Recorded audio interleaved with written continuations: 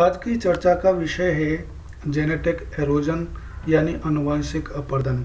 हम जानेंगे अनुवांशिक अपर्दन क्या है एवं अनुवांशिक अपर्दन के क्या क्या कारण हैं जिनकी वजह से अनुवांशिक अपर्दन यानी जेनेटिक एरोजन हमारी स्पीसीज में होता है।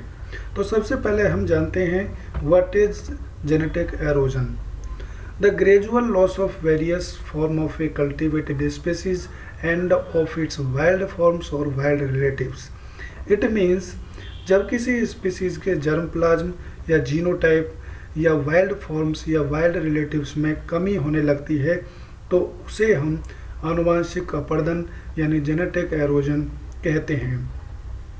डे बाई डे आप देख रहे हैं कि हमारी प्लांट्स के केस में देखें या एनिमल के केस में देखें कि बहुत सारी स्पीसीजें लुप्त होने के कगार पर हैं। या फिर किसी बहुत सारी स्पीसीजों के हम वाइल्ड रिलेटिव्स देखें या वाइल्ड फॉर्म्स देखें तो आज देखने को नहीं मिलता है। यही जेनेटिक एरोजन है। यानी किसी स्पीसीज के वाइल्ड फॉर्म्स या वाइल्ड रिलेटिव्स का धीरे धीरे कमी होना ये जेनेटिक एरोजन या अनुवांशिक अपर्दन कहलाता है। अब इस अनुवांशिक अपर्दन के क्या क्या कारण हैं, ये हम डिस्कस करेंगे। सबसे पहला कारण है कि replacement of land races with improved varieties आप इस समय देखेंगे कि कोई भी वाइल्ड फॉर्म्स को कल्टीवेट नहीं करता है। कोई भी उनको मल्टीप्लिकेशन नहीं करता है या कोई भी उनको कंजर्व नहीं करता है। केवल और केवल हम इम्प्रूव्ड वेराइटियों पर ध्यान देते हैं। तो ये एक जो मेन कारण है जेनेटिक एरोजन का कि हमने लैंड रेसिस की जगह पर इम्पोर्ट वैरायटी को रिप्लेसमेंट कर दिया। तो ये जेनेटिक एरोजन का कारण है। दूसरा कारण है कि मॉडर्नाइजेशन ऑफ़ एग्रीकल्चर यानी हमने कृषि का आधुनिकीकरण कर दिया। इसकी वजह से आप देखेंगे कि ड्यूरेशन में आप देखते थे कि वैद होते थे और वैद बहुत सारी वाइल्ड फॉर्म्स को एज ए मेडिसन यूज़ करते थे, उनका कल्टीवेशन करते थे। लेकिन आज कोई भी व्यक्ति मेडिसन देसी मेडिसन यूज़ नहीं करता है और मेडिसन यूज़ नहीं करता है, इसलिए हम वाइल्ड फॉर्म्स को कोई भी कल्टीवेशन या उनको कंजर्व नहीं करते हैं। तो मॉडर्नाइजेशन की वजह से भी हमारे फ़सलों में जेनेटिक एरोजन हुआ है, यानी जो वाइल्ड फॉर्म्स थी किसी भी स्पीसीज की, उनमें कमी आई है। एक एग्ज़ाम्पल के तौर पर देखें कि पहले के ड्यूरेशन में हम लोग बैलों से खेती करते थे, लेकिन आज ट्रैक्टर से खेती करते हैं।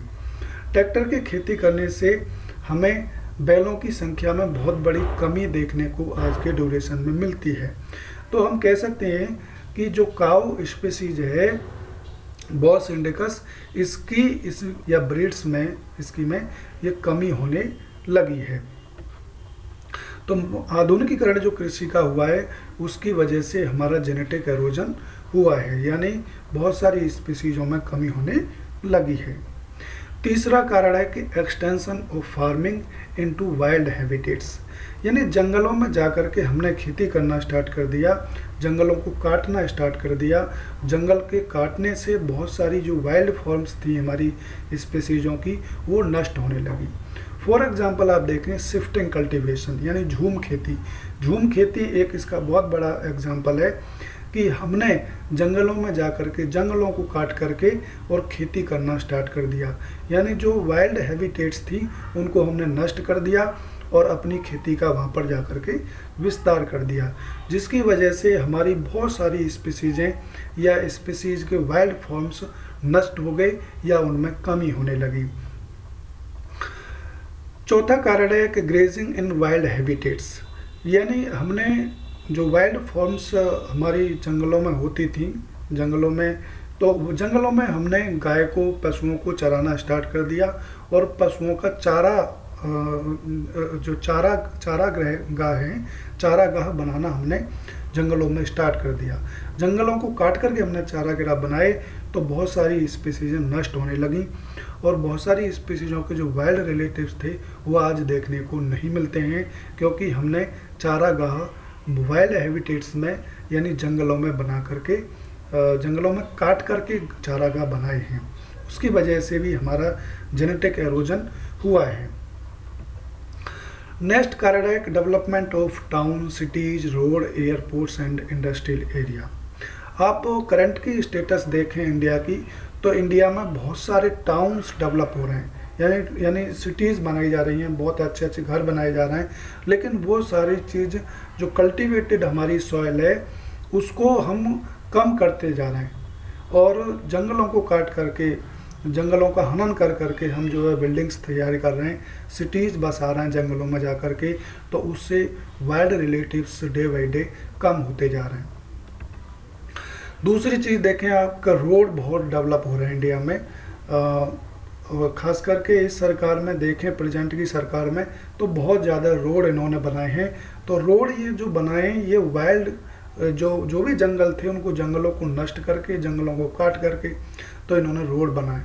तो रोड इनकी वजह से भी बहुत सारी जेनेटिक एरोजन हुआ है। यानी बहुत सारी वाइल्ड स्पेसीज के जो वाइल्ड स्पेसीज वो नष्ट हुई हुई हैं, काटने से या फिर उनके हनन से। तीसरी चीज़ हम बात करें एयरपोर्ट्स। एयरपोर्ट्स अब इंडिया में बहुत ज़्यादा एयरपोर्ट्स बनने लगे हैं और वो जो कल्टीवेटेड लैंड है, जहाँ पर कल्टीवेशन होता है, उसको कम किया जा रहा है। या फिर जहाँ पर वाइल्ड फॉर्म्स में बहुत सारे जंगल हुआ करते थे, जहाँ पर बहुत सारी स्पेसीज होती थी, उनको काट करके एयरपोर्ट्स बनाए जा रहे हैं। नेक्स्ट है कि इंडस्ट्रियल एरिया। आप राजस्थान में जाएँ या मध्य प्रदेश में जाएँ तो इंडस्ट्रियल एरिया जहाँ पर डेवलप हो रहा है, वहाँ पर पहले के ड्यूरेशन में वहाँ पर जंगल हुआ करता था और उस जंगल की जगह पर हमने इंडस्ट्रियल एरिया डेवलप कर दिया, जिसकी वजह से भी हमारी जो जेनेटिक एरोजन है, उसको बढ़ावा मिला है। यानी जेनेटिक एरोजन हुआ है।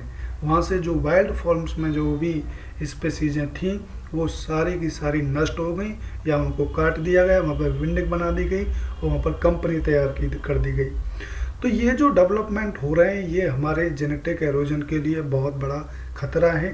आगे चल के आप देखेंगे कि बहुत सारे एनिमल्स की स्पेसीज और बहुत सारे प्लांट की स्पेसीज और भी कम होने लगेगी, और भी कम होने लगेगी, क्योंकि आज करंट का स्टेटस देखें और आज के 10 साल बाद का करंट स्टेटस देखेंगे आप तो इसमें बहुत ज़्यादा जो वाइल्ड क्षेत्र है, जो जंगल का क्षेत्र है, उसको काट कर ही हम वहाँ पर टाउन बनाएँगे सिटीज़ बनाएँगे रोड बनाएँगे एयरपोर्ट्स बनाएँगे और फैक्ट्री तैयार करेंगे।